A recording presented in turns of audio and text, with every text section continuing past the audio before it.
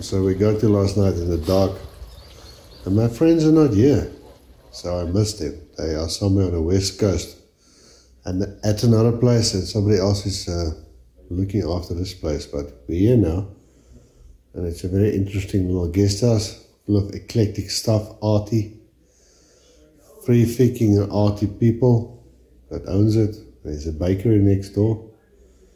Yeah, so we'll be here. I don't know what we're gonna do next. Uh, we'll see. It's up to Pierre. It's basically his holiday. I'm just tagging along. So take it step by step. But we're in Calvinia now. Nice to be out of the city.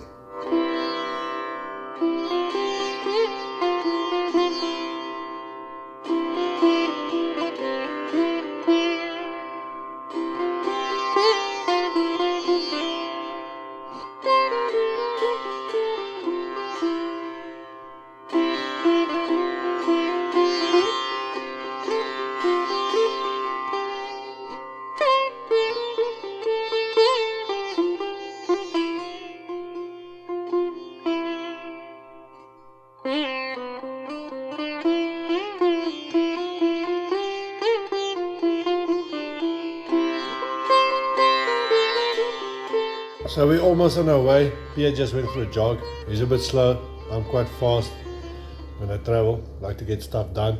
So I have to rush him a bit. Hopefully we'll leave soon and hopefully we will get to the next place before dark. I'm doing my best with Pierre. Slow Pierre. But uh, he's a very generous guy and uh, this is all the jam he bought at that petrol station last night for to give away to people on the road. Nice one, Pierre. Like nice local canned fruit and jams. Pierre went wild with the jams. Wait, there's more variety of jams. So we're in jam country. If you like jam, this is the place to be. Two weeks later. Okay, we're going now after many hours. Um, I'm dressed in my uh, my Platteland wardrobe, so it's quite a kind of hot, quite a bit hotter than Cape Town. So we're hitting the road finally. I can almost guarantee you we will not get, not get to the final destination before dark, but let's see. Calvinia is a typical Karoo town where things move at a somewhat slower pace and where you will find people just hanging about with the uniquely African attitude of who cares about the clock when there are no jobs.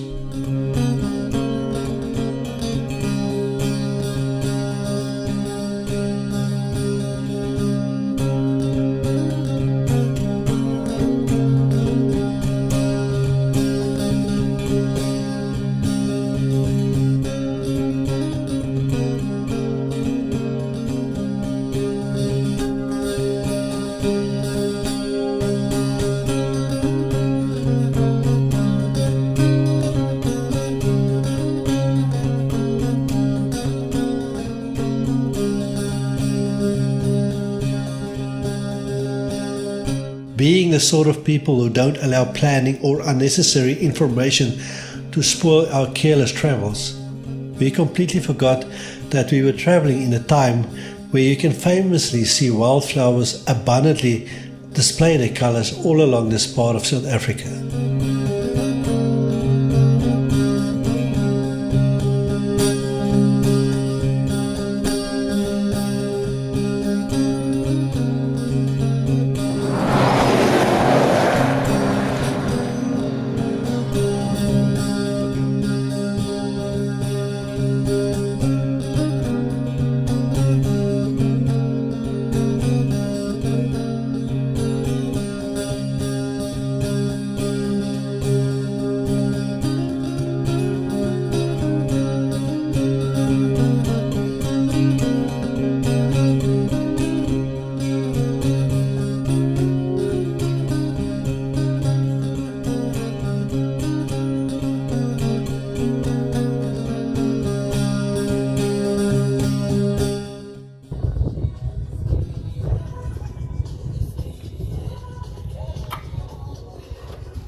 Stopping at Brandvlei. Brandvlei is basically, there's nothing here. A small, very small place where Pierre wants to drink coffee, so we're at Brandvlei now. For a coffee break, we're gonna get there in the dark. I can feel it. She wil, ja, she wil. Okay, this guy says he will smile us. Can we ask you a question? Yes. Yes. What happens in this place? How is this place? This place is is too much. Too much what? Music. Good times. No music is the, the lifetime is tough here, boss.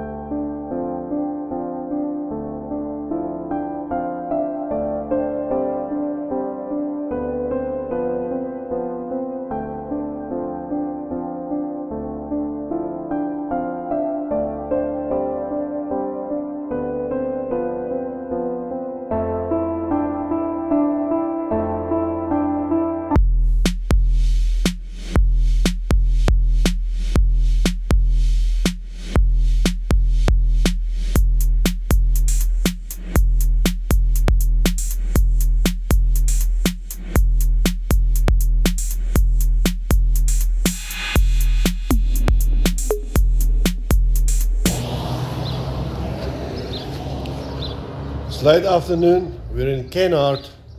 I'm just gonna pop into the hotel. Pierre's gonna see some of his family members.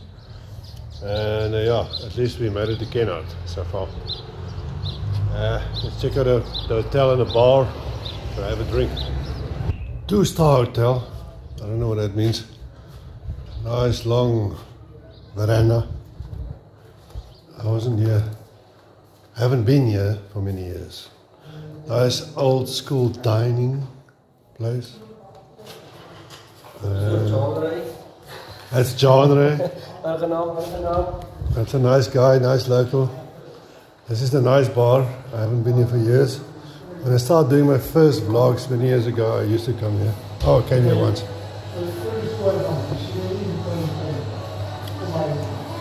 Could be a little camera skinny. All kinds of stuff against the.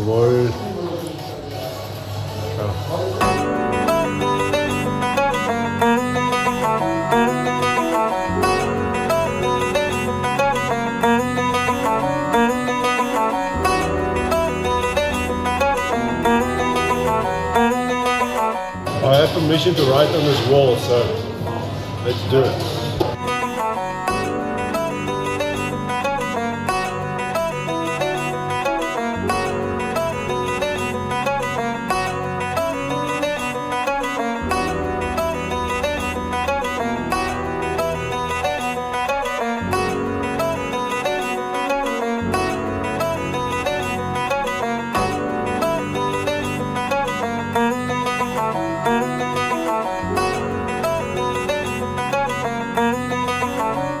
Not sure. Well, you can see this, but there's a whole swarm of swallows around the church feeding. It's becoming summer here in southern Africa. So summertime is here and the swallows arrive and they're here and they're feeding and it's happy and a good sign. I hope you have a good summer. Okay, we're just leaving Kenhardt. It is sunset almost and we're gonna take turn off on a dirt road and go past the farm where my travel companion secret name P Mr. P that's where his father's farm was ne?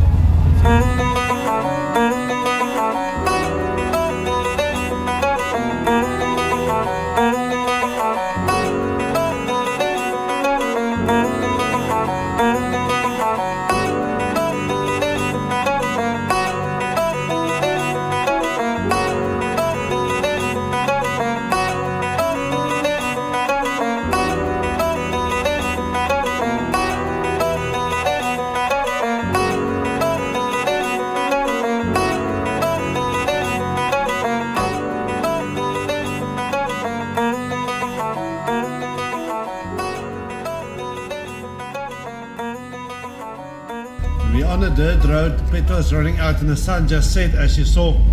Did we make it before dark? No. Whose fault is this? Slow Pierre. Slow Pierre, you motherfucker. I told you tomorrow, if it's dark, I'm not going anywhere. I'm getting out of the car.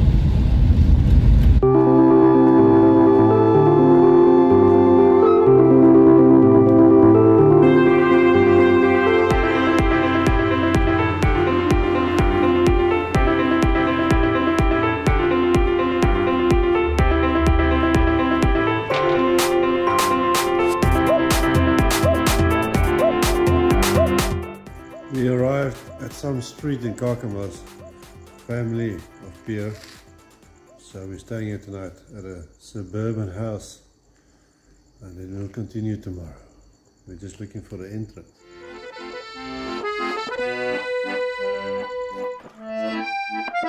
How's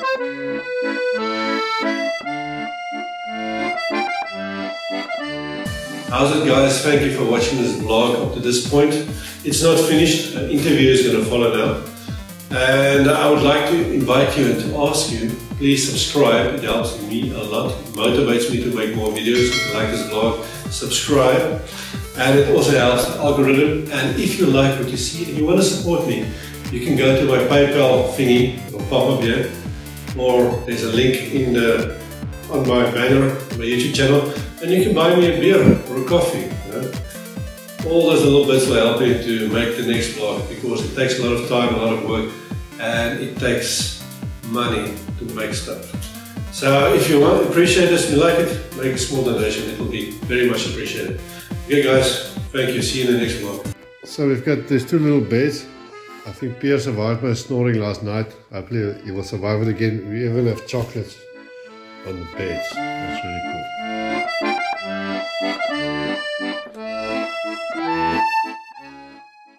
Okay, we had a long drive now, not that long, but a long drive, if you know what I mean. Just a short it was slow and long. Because of slow Pierre, yeah? it's fine, Pierre, we forgive you. Uh, he actually stopped at a few very nice places. We had some nice scenery that will be in the vlog. And now we're here with Barney at Kakamas, and he's our host. And he gave us whiskey and wine, and thank you very much. And it's this beautiful little house, and we have a braai fire going there. And this is just the end of the day. Thank you for uh, allowing us into your house. And I just want to ask um, who you guys are and about Kakamas. Where are we exactly, and what is the story here in a nutshell? Because What is the main claim to Kakamas? What happens here? Farming. Farming is the main claim. Um, grape farming, especially. Raisins, wine, and um, export grapes. Lemon, lime, oranges. That is quite big now. So there's a lot of water here. Is it close Yes. to the river or what? On the river. Is this on the river, the Orange River? Yes. Not far. Okay. like two Ks max at the moment. So the Orange River, I'll show you guys tomorrow, and then we will subtitle in what the Orange River is about. It's a river. It's a big river, and uh, It's the biggest river in South Africa. Yeah. rivers in South Africa is a big deal, man. And uh, what do you do here, if I may ask? I'm, I'm a teacher at the local high school. And how is life in uh, Kakamas? Uh, should people move here, or should I leave you guys alone? Is it like, is it like, is it nice? It's a nice place. Out? Is it restaurants? Nice restaurants. Is it? Yes, quite a few also. Yeah, it's nice living here. Uh, rust, rustig. Ja, baie rustig. And tell me about the tourist season now, because we have Orange River, right? And then we have the Grabis is not so far. Yes. Ja. So, so people come here in tourist season, so Yes. It's quite busy. And uh, flower season in the Namakwaland. So the flower season extends all the way up here as well. Yeah, if you're lucky. You didn't see any flowers today on the road. Yes, we did. It was amazing. Yeah, but between Near- and Kakamas. Mm, Not so much. Yeah, we haven't wind the last few two weeks, so I thought they were. Yeah, so the flower season, and but mainly right through the year because of the falls About 800 kilometers from Cape Town. yes, uh, and from Joburg. And from Joburg, so it's nice and central. Yes. And the weather is very much warmer here than Cape Town. No wind, It's a uh, dry. It's a dry, hot place. very comfortable. Very sunny. It's it's one of the sunniest parts in South Africa. Statistically speaking, Upington is the town with the most sunlight every year. Mm. Wow, okay, Yes. so that's a, like a Yeah. statistical fact. Yes. Because if you like sun, You like wine, right? They make wine as well. Yes. Yes. And you not like rivers to swim in. And I don't know if you want to talk about you guys, how you keep connect. Yes, my mother and his parents were friends back in the day, like late 60s, when my mom came here to teach at the local school, the high school. Yes, and that's how we know each other. So by the way, this road trip is more like I'm just tagging along, making a little vlog, but it's more Pierre's thing. I'm just I just climbed into the bakkie to show you what I can. Okay, folks, I think that's finished now. We're just gonna relax and braai and. But he can be a real pain in the backside. I'm backside. such a pain. Listen, never, never travel with me. Okay, I'm telling you now. If you ever see me, for the few people that watch this, don't think, don't romanticize it because I'm a pain in the ass. Not a pain in the ass. He's, he, he's all about the golden hour. So I want to hang out and take a photo, and then he's nagging me about the golden hour. Let's get to the uh, the destination for the golden hour. Yeah. Okay, that's why I'm, t- I'm, I'm just joking with Pierre. We're just very different. Pierre is just very calm. I'm very rushed. and my whole thing is I don't like to drive at night. And I don't want to drive when the, the, the light is good. That's why, that's the whole theme of today, the last two days. So I get like anx, anxious, you know. Because the last hour and a half of the day, I want to plan my shots. I don't want to take drive-by shots. I want to be at the location I want to shoot. I want to take my time, set up a few angles, do it properly. Because the golden hour is the magic hour. Obviously, everybody knows that for photos and videos. That's why I'm so like pushing you all the way. I say, come on, let's go. No, let's, let's not miss the golden hour. So that's what it was about. Golden hour. But all in good fun. All in good fun. Thank you. And thank you very much. Cheers, guys.